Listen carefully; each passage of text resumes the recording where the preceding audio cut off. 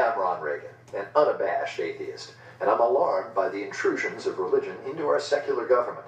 That's why I'm asking you to support the Freedom from Religion Foundation, the nation's largest and most effective association of atheists and agnostics, working to keep state and church separate, just like our founding fathers intended.